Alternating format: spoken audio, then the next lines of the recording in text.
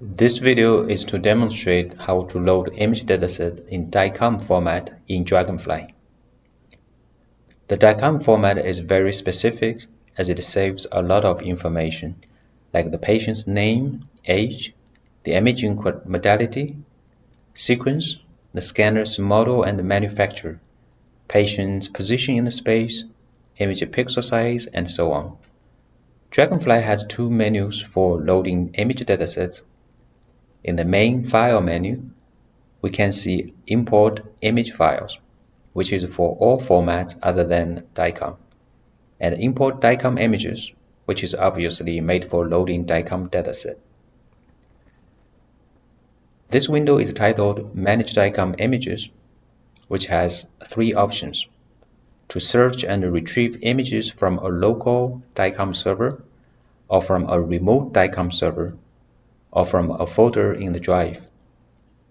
In the first two options, we need to set up Dragonfly upfront to make it work with local or remote DICOM servers. The configuration for this is not included in the present video, so we just demo the third option, load from a folder for now.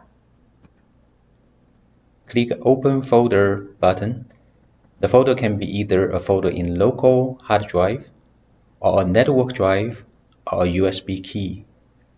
I put my demo data in the USB key so I navigate to that folder and click open. Now Dragonfly is scanning the folder for all DICOM images. When it's done, we can see a table for how many studies in this folder and how many series in each study, and the basic information about each study and each series.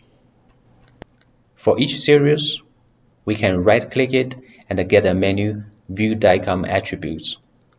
This presents you the complete information about the patient and the images that are saved in the DICOM files.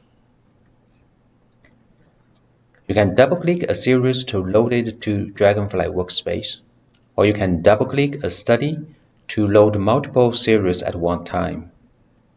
Before that, you need to know there is a setting in Preferences for how many series will be loaded for one study.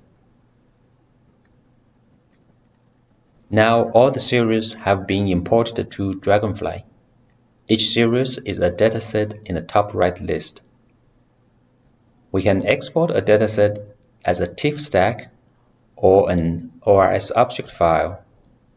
But at this moment, with the current Dragonfly 4.1, we cannot export a dataset to DICOM format, even it was loaded from DICOM files. Thank you for watching this video.